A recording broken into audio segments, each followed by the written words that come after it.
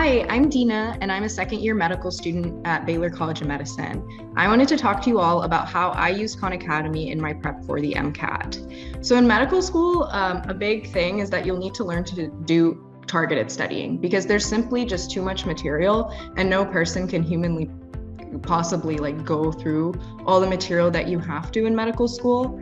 Um, and so you need to learn how to do a tar- targeted studying like um, for the MCAT. So you develop these study skills um, by using practice questions, identifying areas that you're weak on, and then going back to the content to review them. So for the MCAT, I would do a lot of practice questions. And then when I'd find topics I was weak on, I'd go back to the content um, from Khan Academy for the videos and the transcripts.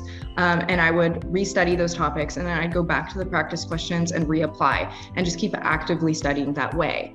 Um, we do that a lot in medical school, where in our clinical rotations, we do a lot of practice questions and then we go back to videos um, and content, um, read over stuff, and then go back and readdress those topics in the practice questions. And this is the key to targeted studying.